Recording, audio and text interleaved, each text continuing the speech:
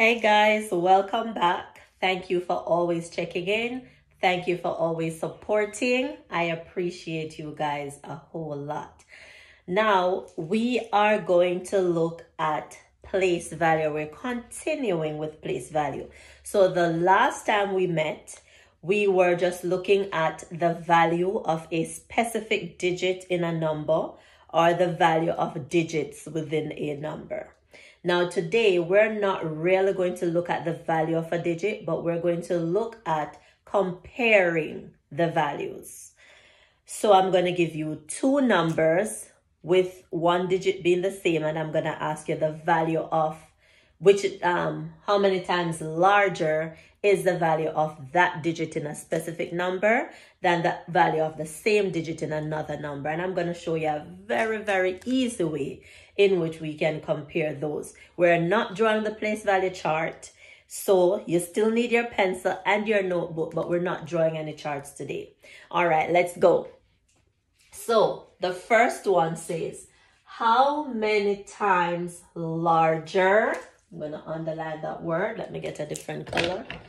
Is the value 6 in 98,682 than the value of 6 in 7,361. So we're looking at how many times larger is the 6 in this number, which is this 6, than the 6 in this number, which is this 6. An easy way to do this, guys. I'm going to take my first number and I'm writing it down. 98,680. Then I'm going to take my second number and I'm going to write it down on the side. So 7,361.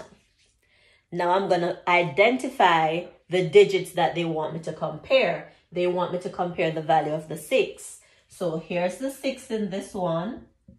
And here's the 6 in this one. So what I'm going to do, I'm going to write my 6. I'm going to ignore all other numbers. If digits, sorry. If you remember when we were looking at place value and they said what is the value of the 3 in this number? We only found the value of the 3. We weren't finding the value of every single digit. So now we're only comparing the value of the 6. So we're not looking at the 8, the 2, the 9, or, or the other 8 there. We're only looking at the 6. So I'm going to write the 6 down. And everything to the right of the 6, I'm going to turn them to zeros because it's going to help me to know that the value of this 6 is 600. Then I'm doing the same with my next um, number. So I'm writing down my 6 and everything to the right of the 6 becomes 0. So the value of this 6 is 60. 6 tens, 60. So what I'm going to do next I'm writing my 600 again. And then I am going to write my 60 immediately underneath it. So 6, 0. Now, I am going to cancel matching zeros. So in this case, I have two zeros at the top and only one zero at the bottom. So I'm going to take out one zero and one zero. I have another zero at the top, but I don't have another zero at the bottom, so I cannot cancel. I only can cancel matching zeros. So right now, only one zero is left. There's not a matching zero at the bottom, so I can't cancel. What I'm going to do is underline that zero. Now, if you remember when we did place value as well, we spoke about how many zeros are in the power of tens. The power of tens are 10, 100, 1000, 10,000. So remember, 10 has one zero. 100 has two zeros. 1000 has three zeros. And if we continue, 10,000 has four zeros. So Right now, I'm left with one zero. So I'm looking at my power of 10 with only one zero. That is 10. It means that the 6 in this number is 10 times greater than the 6 in this number. Take a look at it and try to grasp it. So all I did, I copied the two numbers. I wrote them down. Then I took the 6, write it down, everything in front of it becomes zero. I'm not looking at these two. Remember, I'm not finding the value of every single digit, just the six. When I turn these to zero, it helps me to see that the value of this six is six hundredths. And then when I come to this one, I do the same, right? My six, this comes zero. This is now 60. The value is six tenths or 60. So then I'm going to put them on top of each other cancel the matching zeros. I'm only looking at the zeros to help me with my answer. So if one zero is left, it means that my answer is 10 times. If we have two zeros left, your answer is 100 times. If we have three zeros, it's 1,000 times greater. Let's try another one. So I'm going to change this to 5 and I'm going to change my digits. I'm just going to put a 5 in this one. And I'm going to put a 5 in this one. Right there. Change it to 5. Alright. So now I have how many times larger is the value of value 5 in 95,682 than the value 6. Sorry, this is 5 as well. The value of the 5 in 7,561. I'm going to take this out so I have space to work. So, let's go. First step, write your first number down. Bigger one, 95,682. Next, write the other number on the other side. 7,561. Then I am going to identify the digit that they want me to compare. They're asking me to compare the fives. So I'm going to write this five. Remember, I'm not touching this nine. I don't care about that nine right now. I don't need the value of that. Everything to the right becomes zero. Zero. I draw the arrows so I make sure I put the correct amount of zeros. And I'm going to do the same with this. So I'm writing my 5. This becomes 0. The 1 becomes 0. So here I have 5,000 and 500. Now they want to know how many times greater is this 5 than this 5. Let's see. I'm going to write my 5,000 again. I could use this one, but I like to rewrite it and I'm going to write my 500 underneath it. Then I'm going to cancel matching zeros. So I'm taking out this one with this one. That's one pair. I'm taking out this one with this one. That's two sets.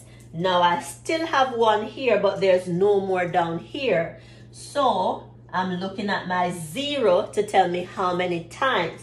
Remember, if it's one zero, it is my power of 10 with only one zero, which is 10. So again, my answer is 10. All right, we're going to look at another one. I'm going to change the digits again. So this time I'm going to say the value of the 9.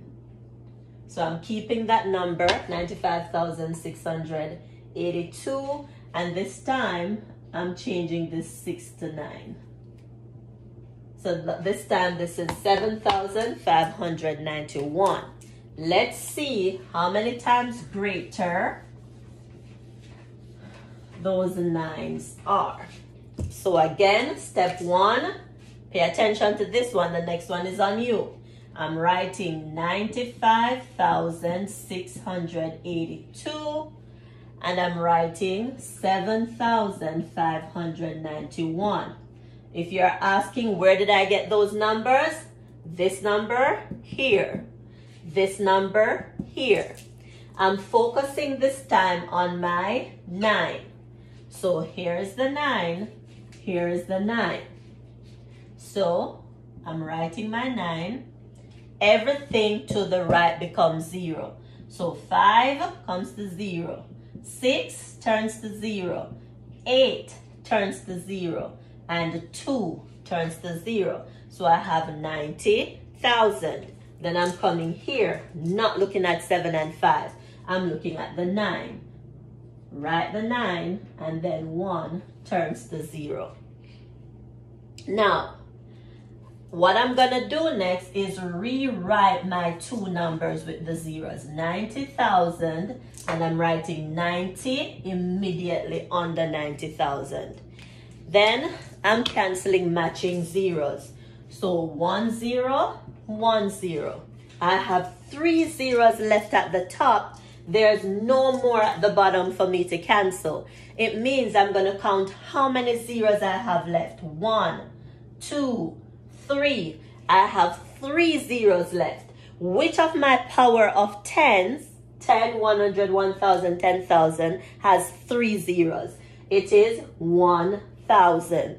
It means that my the 9 in 90,000 is 1,000 times greater than the 9 in 90. So 1,000 times greater.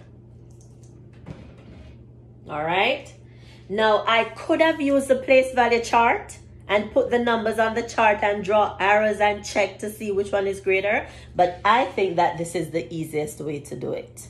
All right. So I am going to change my numbers now. I'm leaving the example there so you can try. And then I'm to see if you get the correct answer. So let me change these numbers. Make sure you have your pencils. We're looking at the value of the 2, the value of the 2 in 42,687 and 4,320 oops, 8.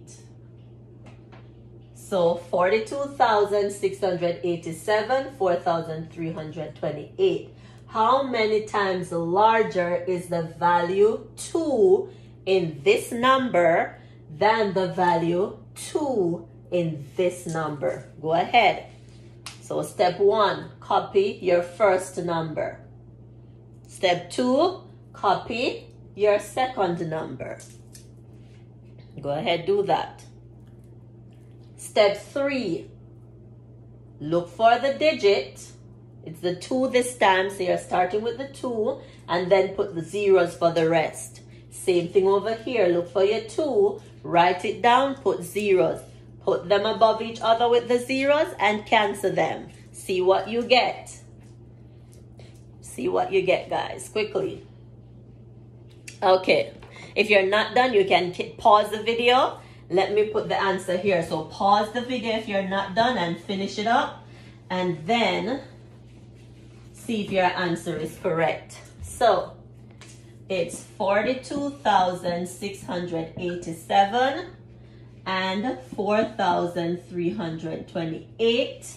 And we're looking for the 2. So I'm underlining 2 there. I'm underlining 2 there. Now I'm to write this 2 and everything else turn to 0, turn to 0, turn to 0. Then I'm writing this 2 and everything else turn to 0. Then I'm putting them over each other. And 20. I'm canceling matching zeros. So 1, 0, 1, 0. There's no more 0 at the bottom for me to cancel. So I'm to count. How many zeros do I have left? Two. Which power of 10 has two zeros? 100. So it means that the 2 in 2000 is 100 times greater than the 2 in 20. Ha! Let's try one last one. If you didn't get it, it's okay. I bet you're going to get this one. If you got it, good job. Make sure you get this one too. So, how many times larger is the 7 in 6,320 71 71 than the 7 in 27. Go ahead. Not walking you through this one. Look at the example. How many times larger is the value 7 in 6,371 than the value of the 7 in 27? Go ahead. All right, again, pause the video if you're not done. Pause the video and finish up if you're not done. Let's see what's the correct answer. So again, I'm copying 6,371 and I'm copying 27. I'm focusing on 7, so I'm writing my 7 and then this becomes 0. I'm writing my 7, there's nothing to change there. So there's no 0. So now I'm going to put 70 and 7.